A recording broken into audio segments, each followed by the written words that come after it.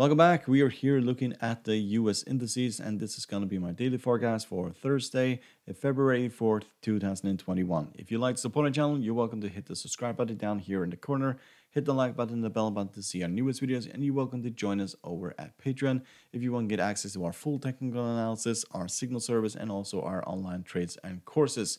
And the link is down below, and you're very welcome to join. So we'll start by looking at the S&P 500, but first just look at what happened today.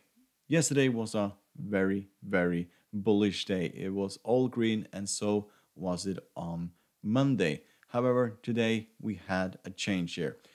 So some companies did do really well. Microsoft did well, um, and so did Google.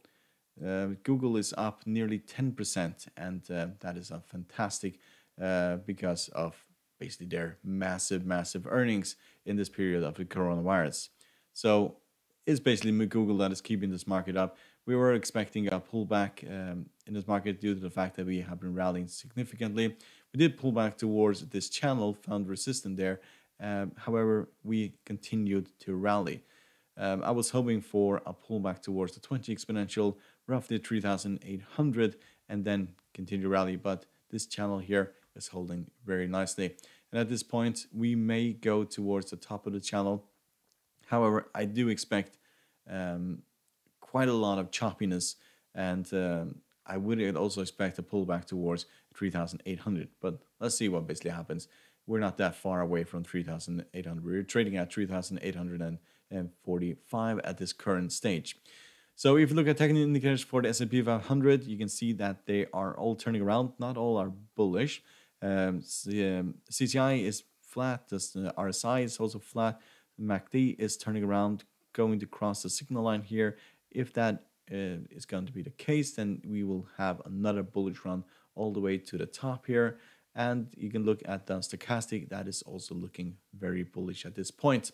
We uh, are trading just above the uh, middle here of the Bollinger Band, not that far away from the top. Top here is at uh, 3,884. Uh, so uh, we don't, uh, it will not be that big of a rally until we find major resistant, resistant here. Just see what happens when the last time we got outside of the Bollinger Band. We went all the way back towards the middle here, and that's a drop of uh, roughly, roughly to 1.84%. So the same goes for here. We fell all the way down to the very bottom, a drop of roughly 4%. So usually when we get to the top of the Bollinger Band or pierce the top of the Bollinger Band, that usually has a sell-off towards the middle of the Bollinger Band or all the way down to the bottom. But we are still in this channel, and as long as that is the case, we will uh, go back and forward from the top to the bottom. Um, so, yes, we'll see what basically happens here. A pullback towards the, the bottom of this, this channel is basically a buying opportunity, and your target is roughly at 3,900. Long-term target is 4,000. So let's look at the Dow Jones. So the Dow Jones has rallied yet again today. is looking very nice for the Dow. Um, long-term target here is 30, 40, uh, 32,000 or 31,500 uh, first and then 32,000. So that is a move of roughly 3.8% from where we are at this moment. We're is looking really good for the Dow Jones. We are just about the 20 exponential. We have pulled back and then rallied and are now trading just about the 20 exponential. Technical indicators are turning around. We are very low here in the in the RSI and there's a lot of room to the upside. We could actually move all the way to the top of the Bollinger Band here. That's roughly at 31,463 roughly, uh, give or take, almost where the target is at uh, 31,500. And that's a move of 2.27%. Um, so, yes, there is a lot of room to the upside. Pullbacks from here, we'll find the 20 exponential being very uh, supportive, and so is the 50 moving average right here, and the 20 and the 40 exponential moving average as well. MACD is turning around, the RSI is flat, yes, it is looking like we are ready to rally to the upside. So let's look at the Nasdaq.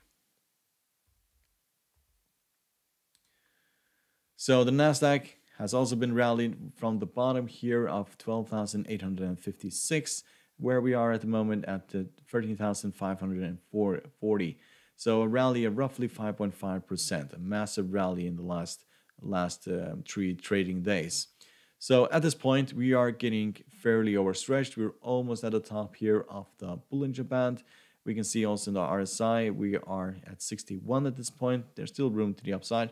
Technical indicators otherwise for the, the stochastic is bullish, the MACD is bullish, CCI is flat, but a pullback towards the pullback towards the 20 exponential moving average or this channel here that is at the moment a major buying opportunity.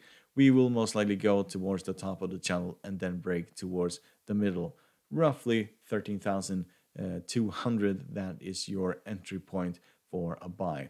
So we are in this channel. It is fairly predictable where we are going when this is the case. Long-term target is 14,000. Uh, so Yes, just hold on. Pullbacks are buying opportunities. So, hope you found this helpful. You're welcome to support the channel by subscribing and hit the like button and the bell button to see our newest videos. And you're welcome to join us over Patreon. The link is down below. Good luck and thank you very much.